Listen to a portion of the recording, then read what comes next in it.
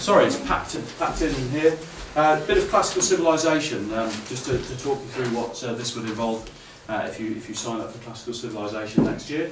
Uh, for any that don't know me, I'm, I'm Mr McClure, I'm Head of Classics in, in the Scene School. Uh, so I hope this, this answers any questions. If it does actually just raise some questions that you, you wish to ask, then obviously do, do catch me probably at the end.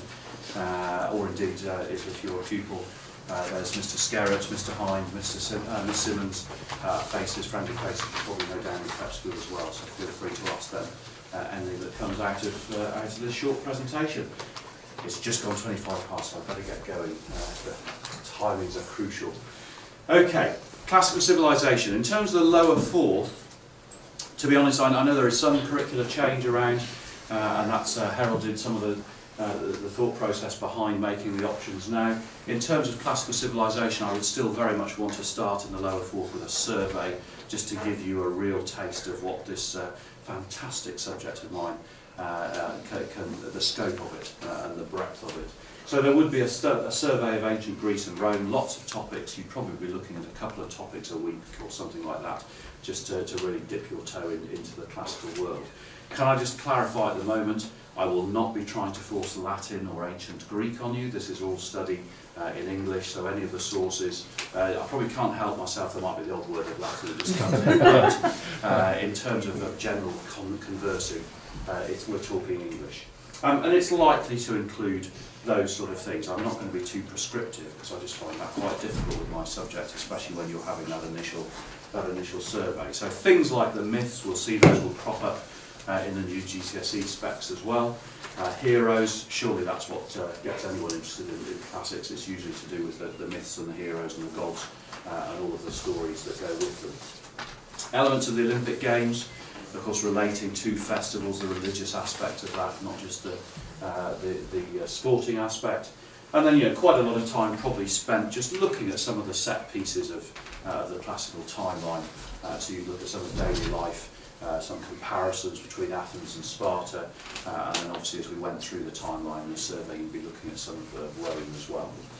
Particularly the expansion of Rome. You know, this is something that we can follow, and the source material will allow you to see how this comparatively rustic town ended up being a, uh, the centre of a, an empire that, uh, that uh, covered the, the Mediterranean basin. So some of the politics, some of the expansion, obviously aspects that uh, people are uh, uh, still conscious of, like the professionalism of the army and the ruthlessness of the army. Uh, a range of the emperors, the good, the bad and the ugly within there. Uh, and uh, also sort of cultural topics such as, such as slavery. So anything uh, from sort of Judicius Thraladiscoblos here to Julius Caesar, uh, looking at you there in the corner, uh, we, we sort of have a survey of what the subject uh, covers. Now, of course, you are making a choice now that will uh, that will affect GCSE uh, choices as well. So I'm afraid I do have to give you a bit of OCR specification, jargon, blurb, whatever you want to call it. Uh, this is not the most interesting slide of the presentation, but here is what OCR believe a GCSE classical civilization uh, is all about. So I'll give you a moment just to relish the of, uh, of that slide. Um, heartening that they do want you to have some knowledge of the classical world. That's, that's a good starting point, I always think. Uh, essentially, you then use that knowledge to come up with some, uh, some opinions and some insight into what you're studying, and therefore have uh, an opinion that you can put on paper uh, using some of the evidence and you know, lots of uh, uh, legacy and tangents that come from the classical world that we can talk about the, the modern world as well, the relevance of them. Okay, I should move on from that. I do, of course, also need to talk a, a little bit uh, briefly about exams. Essentially, the new this is the new specification, so it's it's the upper fourth in next September that are starting this new uh, GCSE specification, uh, and they've streamlined it into two topics. Two topics, two exams. You can see we've got 50%. Uh, that's the headline up there. Uh, the thematic study is one that involves myth and religion, and they really have tried to open the course up, which I think is a, a great strength of the new specification. It's also led to a few headaches within the department, as you'll see in the next slide. But the first one, myth and religion, I think is an absolute uh, genuine starting point. As I said, most people's first contact with the ancient world is through that great mythology uh, bank of stories. Um, here is just a, a, a general breakdown. We don't need to go into specific details, folks, but you can see they're trying very hard to make sure you get a, an idea of both Greece and Rome, and then a contrast or a comparison between the two. Uh, so there's that informed response we're talking about.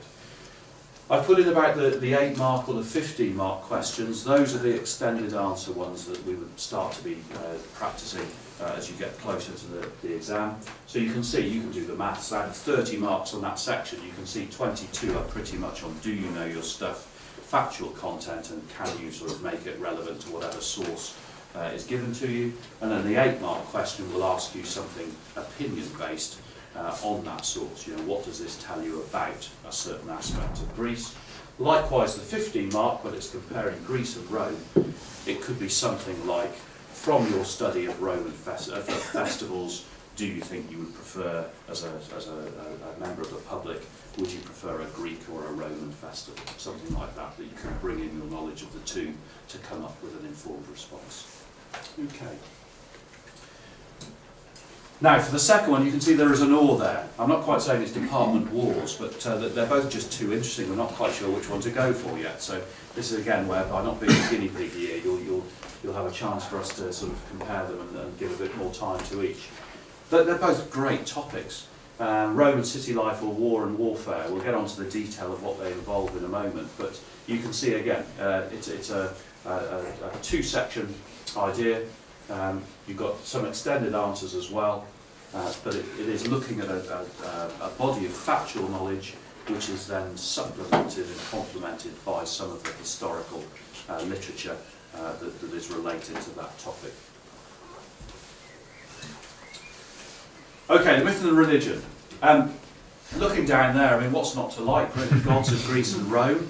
Um, but of course, by, by making it Greece and Rome, you, it does mean that they, they've got this, this thematic idea in, that you can take someone like the, uh, the Heracles from Greek mythology and compare him with what the Romans thought of their Hercules and some of the subtle differences there. Whether he looked like the Rock, I don't know, but uh, you know, it's, it's, uh, it's, it's sort of coming up with those opinions based on the two different, uh, slightly different slants. Likewise, temples in Greece and Rome, you know, not only for their architectural um, beauty, but also what they were there for. You can see how, in terms of legacy, you can compare with a religious building now and the different usages. Uh, all with civic buildings like Birmingham Town Hall is essentially a Greek temple in, uh, in design yeah, all of that side of things, plus the rituals that would go in uh, inside them. Likewise, the importance of, of religion to these two cities, you know, the actual fabric, the framework of these cities, the foundation of them, is all to do with these mythological uh, gods and goddesses and the stories of how they, you know, with Athens, obviously Athena would be involved.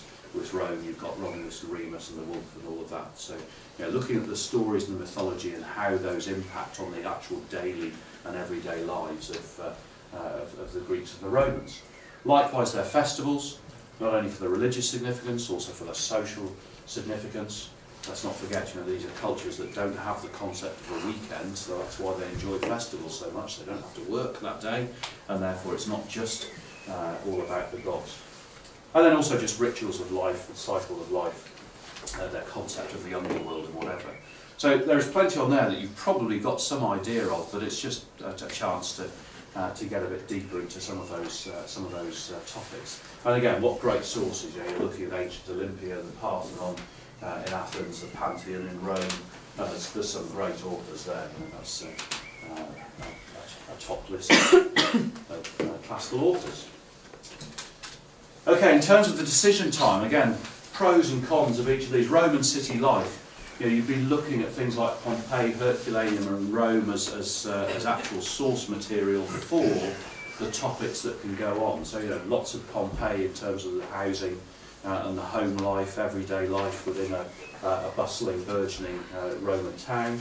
Structure of Roman society, uh, you know, the different uh, levels of society from the senators down to the plebeians.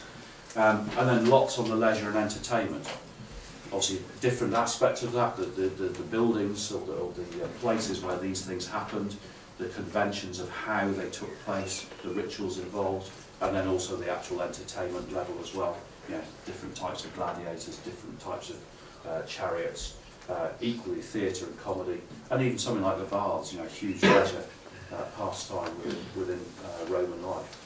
So lots of it, the, the, the, uh, the department debate, I suppose, is that there is a really good topic with lots of variety of, uh, uh, of issues to study, but it's just Rome, whereas the other one is a bit more detailed, but it's Rome and Greece. Uh, so that's, that's where, where we're thinking. But whichever one we plan for, folks, I hope you wouldn't be uh, disappointed. I also like, again, just the, the new spec and how they're looking at it. Any of you know your ancient authors, what they've gone for here are some, some they're satirical authors as well. So it's not a sort of dry, dusty look at these factual aspects of Rome. It's actually looking at real Romans, what they thought about them. Sometimes, you know, what they thought badly about some of these things, and using that to, uh, from a distance in a historical way, look at that source material and come up with our own opinions. Equally, war and warfare will appeal to some as well, I'm sure. You can see the strength of this one is Greece and Rome, um, but I suppose a more focused study in that you would look at Sparta, military training essentially. Know, if you were a boy, there wasn't much uh, uh, careers advice, you would be a soldier. Uh, so that, that education system uh, and how that fitted in. Um, Battle of Thermopylae, I suppose, uh, the, the famous moment, 300 and all that, uh, just as where these, these men suddenly came to their own and, and showed the, the, the ancient world, you know, what they were all about. Athens, a bit more of a focus on uh, you know, the trireme up there and, and much more of a naval power, usually because they didn't want to fight the Spartans on land, they stuck to the sea. Uh, but the Battle of Salamis, again, um, just a, a, a specific uh, uh, event that you can see all of this background material in action. And likewise, everyone's perception of the Roman army, so it is, it's the professional army in the imperial period, uh, and again, two, two big set pieces there, Battle of Actium, where Augustus that's what Octavian, as he was then, finally became the last man standing so that he could be the first emperor. Uh, and then Trajan's uh, campaign in Dacia, uh, which inspired Trajan's column, if any of you been to Rome, uh, just as a sort of pictorial spiral showing uh, how he defeated the Dacians. Okay, so that perhaps more of a visual uh, topic. And again, in terms of authors, you're going to come, come across some great authors, whichever of those we, uh, we pick. Which brings us to that, ladies and gentlemen, which is really why you're here today. Why study it? Um, you can see I talk a lot. I would quite happily challenge any of my colleagues uh, to, to say their subject is broader. I would be fairly confident I can get most things back to classics uh, and the legacy of where, where things come from. So I think the sheer breadth of the subject, at, at a moment where you're thinking about three years of study, not wanting to shut doors, wanting to keep a, a, a range of options open, uh, I, I think I've got a, a, pretty good subject for you there. Um, it's topic based. You know, hopefully there is something for everyone in what I've said today. Uh, you know, there might be some elements of, let's say, life in, uh, in Rome, daily life in Rome that might not float your boat, but hopefully that's, there's a flip side of that in that there's another element that does. So, like any course, there'll be some bits that you, you prefer to others. Uh, hope being topic based, you know, you can compartmentalise and when you do get in three years' time to the, the sort of business end of the exam season, you know where you are in terms of the bits that you've got to revise. That mix just, just balance, uh, backs up the breadth really. I think you know the, the new specification is a very good one for making sure you do genuinely get a good spread of the classical world. Uh, rather than previous specifications where you have, you know, depending on centres, you have been able to focus on Rome or Greece or literature or culture. You know, this one does guarantee that you get that uh, you do get that breadth.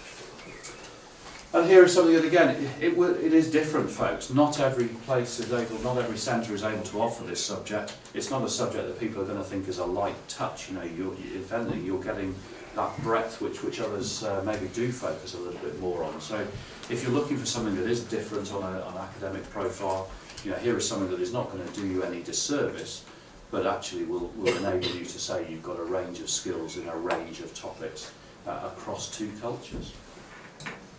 And that's really where that comes in, folks.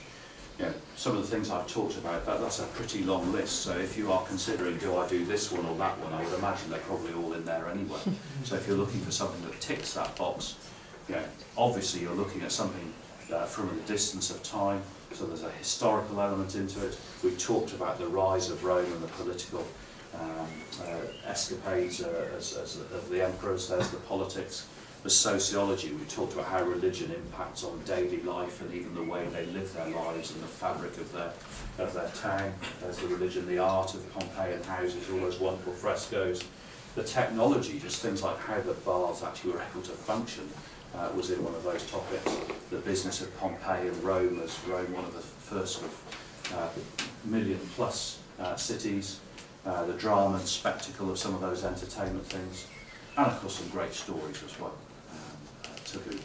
Uh, and because of that, I think it, it is something that will uh, either complement other art subjects you're doing, or certainly give you a balance. If in year eight you are already destined to be a nuclear physicist or something, and science is going to be your bag, uh, you know, you've still got something that will give you a bit of balance uh, as well. As I say, feel free to ask any questions either to myself or to uh, members of the colleagues that are in the, in the prep school. I hope that's, that's been helpful. If there are any questions you want to ask on the way out, folks, feel free. Thank you. Thank you.